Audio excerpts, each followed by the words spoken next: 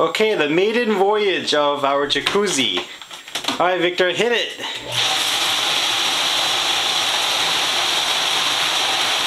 Cool. Lots of pressure?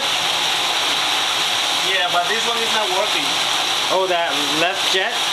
This this this side is not working. Oh no.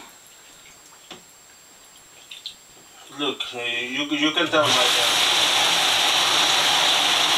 See? Yeah, it's not spitting out. What do you think that is? One here is.